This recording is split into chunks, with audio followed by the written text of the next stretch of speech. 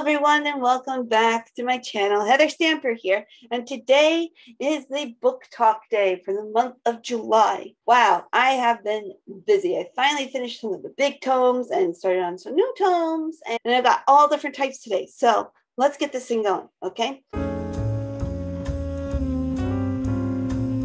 So the first book I read this month was Juneteenth by Ralph Ellison. And it's a book that has a secret in it for those of you following the Pop Sugar Reading Challenge. When Senator Adam Sunraider gets shot on the Senate floor, he asks for an itinerant preacher he calls Daddy Hickman to tell him what happened while there is still time. Thus begins the story of Sunraider, who was known as Bliss as a young child.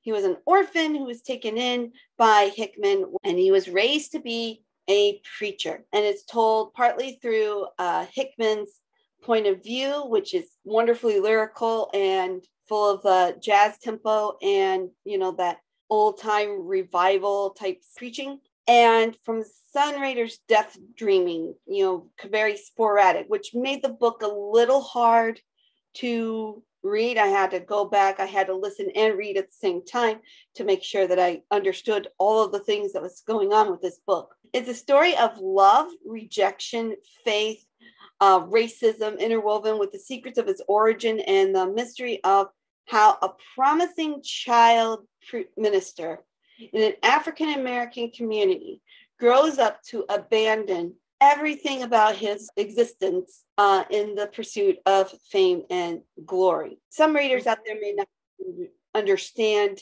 the concept or the controversy of what was known as passing, where if you had African American uh, people who were very light skinned uh, or mixed, they would, you know, pass themselves off as white to gain the advantages of society at that time. And well, some people would say, well, you know, you got to take the breaks where you can get them. They also had to give up everything about their community. They had to basically disown their family, where they came from, and their heritage in order to take advantage of, you know, the white privileges, which even it sounds even icky coming out of my mouth right now.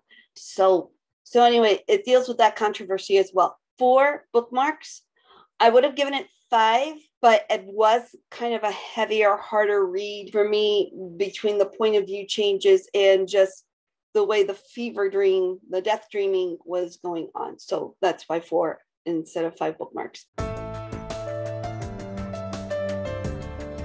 D, Tale of Two Worlds. And this one given uh, an endorsement by a favorite author of mine, Neil Gaiman. Dhikilo woke up one morning and the letter D disappeared from all uh, people's speech.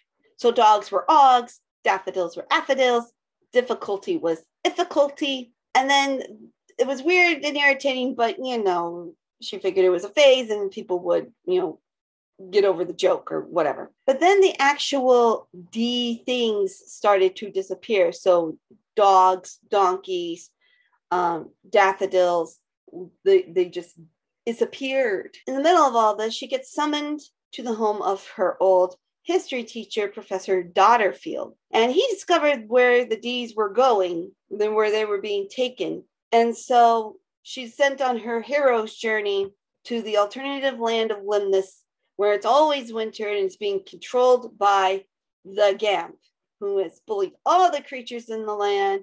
And some have been so brainwashed that they uh, think that he's actually a good guy. I don't know what they could be referencing at all. It gives, it reminds me of, you know, like Lion Witch in the Wardrobe. It also reminds me a bit of Alice in Wonderland.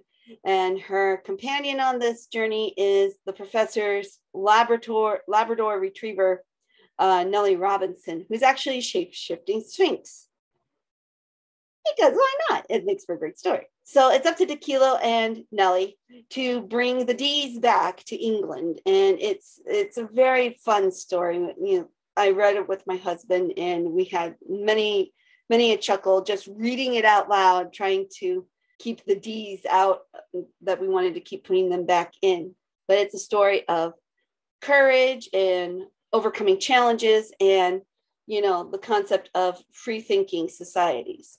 So, very cleverly done. I give this one four bookmarks as well. A Year of Wonders by Geraldine Brooks. It's based on the true story of the little village of Eyam, which was the plague village uh, in England in 1666. Uh, and it's told from the point of view of Anna Frith, uh, the rector's maid. Anna is a young wi- widow who is just trying to make ends meet and for herself and for her two toddler sons. Her husband died in, in a mining accident and you know so she works at uh, jobs at the rector's house uh, reverend michael mompellion and his wife elinor you know she do, does odd jobs for you know other upper class people in the village and she rents her room out at her house for for travelers. Here comes the plague. So we have this very fine looking tailor named mr viccars that came from london brought his cloth from london where the plague was at, he gets sick and dies in her house, and people have bought the cloth that he brought with. Don't know what could possibly go wrong with this one, right? Okay. So from there, her two sons get sick and die. Her neighbors have people who, you know, get sick and die. And it just starts devastating the village for the whole year. Now, Reverend Mompellion convinces the village to close its gates and isolate and live in quarantine for an entire year in hopes to contain the, the, the disease. He has friends outside the village that would leave supplies on a rock, you know, so that they didn't get sick and then they would come later and retrieve the items so that, you know, people could still eat and, and get whatever medicines that they could. What follows inside that village in during that year of quarantine is a hot, hot mess. It's a year of trickery and betrayal and death and science and religion and learning and love and lust and witch hunts and herbalism. And in the end, it results in the loss of one third of the population of the village. Anna's story is one of self discovery and learning and bravery and resilience in the face of these really ridiculous times. So, this was one of the books that was on the banned book list. It was like number 100 in the top 100 books that were banned or challenged in the last 10 years. And I really couldn't find a reason why that was listed. So I can only assume that because of a strong and flawed female protagonist uh, who questions the church, how very dare, and their sexuality and some drug use because you know they had to do some experimentations in order to get the best uh, possible outcomes. And, you know, science back then was a lot of trial and error. So I thought it was very good though. And four bookmarks, totally, totally worth it. So the next book I read was The Four Tendencies by Gretchen Rubin. As I've shown in some of my other videos, I'm doing some of her strategies to increase my happiness level and just learn a little more about myself. So it's a self help personal development book about responding to expectations. Depending on the response, you know, how do you, what do you think of your outside expectations and how do you respond to your inner expectations? Basically, Gretchen Rubin, you know, was able to categorize people into four things upholders who have high meet outside expectations and inside expectations, inner expectations. You have the questioners who question the outer expectations, but honor their inner expectations. The obligers who honor external expectations, but at the cost of their internal expectations. And the rebels who don't like expectations and are outer and they will do what they want when they want.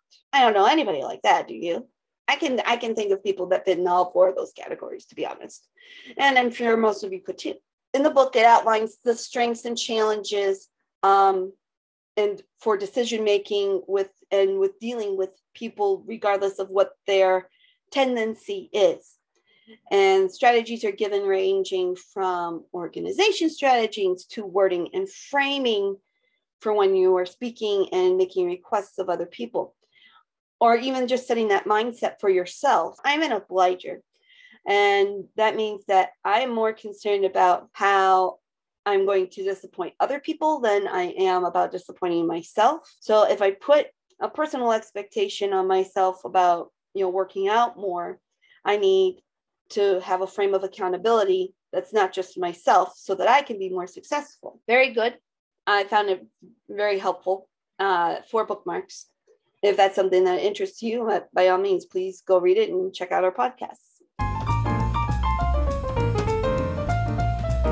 The next book featured a party in the Pop Sugar Reading Challenge. The Decameron. This was the last of my ginormous tomes that I was reading during the spring. And it's by Giovanni Boccaccio. It was written in the 1300s, mid 1300s. Again, around plague time. Okay. So a group of nobles uh, are vacationing at a little country villa outside of Florence. They're trying to ride out the and recover from the their plague year in the 1300s.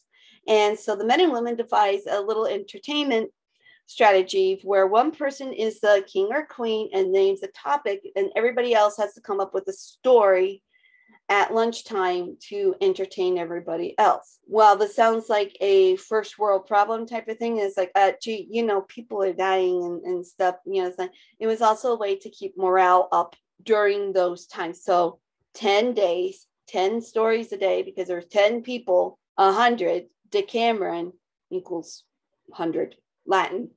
Yeah. so the topics range from love to vengeance to, you know, spiritual to, you know, all sorts. It runs the gamut of the things that were of concern at their time. And some of the some of the stories are serious. Some don't age very well as to be expected when it was written that far back in the past it's socially acceptable to you know to beat your spouse and and things like that no no no no no no, no. Um, some are body uh, some have like mad singers uh, and most of them poke fun at politics and religions and status at the time so i found it to be very witty i would listen to it in segments because it's over 900 pages long. If you're the type that look for the biggest book possible, this is one of them. Okay. Four bookmarks for the Decameron. The next book that I read was, had cutlery on the cover, either in words or in the picture for the Pop Sugar Reading Challenge. Egg and Spoon by Gregory Maguire. So think Prince and the Pauper, set in the turn of the 20th century Russia, throw in some legendary Russian folklore characters, and it's pretty much this book. The story of a girl named Elena, who is an impoverished peasant uh, left to care for her ailing mother after her father died, and her brothers have been conscripted into the army. So when the train is stalled outside of her little village due to a washed out village, more on that later, Elena meets Ekaterina, a schoolgirl um, from the nobility who's on her way to see the Tsar. She was invited to the Tsar's godson's birthday party extravaganza, which is also a, a, a wife hunting, betrothal hunting opportunity. Let the shenanigans begin. We've got mistaken identity, a firebird egg, first world problems, an imperial ball, a Fabergé egg, Baba Yaga, global warming, an ice dragon, a prince in disguise, and gee, I don't know if there's enough thing. I'd say uh, the best part of the book was Baba Yaga uh, and her snarky one-liners and her conversations with her uh, her cat Muster. The pace was really slow and a bit overstuffed for a middle grade novel, which is basically what it is. It was classified as YA, but it doesn't have the YA angst that you would attribute it. It's YA because of length. We're talking about nearly 500 pages here, guys. That is way too long for a middle grade book. The other thing that I didn't care for in this book was the narrator insertions. And then it's an imprisoned monk. It doesn't really add anything to the narrative. It doesn't add to the commentary of the times for me. And you could have taken that part out, cut back about 50 to 75 pages of the stuff that he had to input, and you'd still have a great story. Now, Gregory Maguire is the author who did the Wicked book uh, and, and the Oz books. And there's, it's kind of hit and miss for me with, with his stuff. It's either really brilliantly awesome or it's awkward. And this fell more in the awkward category for me. So I give it three bookmarks, basically because of the Baba Yaga um, interchanges, which were freaking hilarious. So, yeah, there you have it. Those are my books that I read through for the month of July. Uh, let me know what you think. If you've read any of these books or if you had any interest in these books, you know, please put comments below. Maybe I missed a clue in some of them that is like, oh yeah, that would have helped if I, you know, clicked in on that. If you like these types of videos, please click like and subscribe and dingling the notification bell, and I will see you in the next video. Take care, everybody. Bye bye.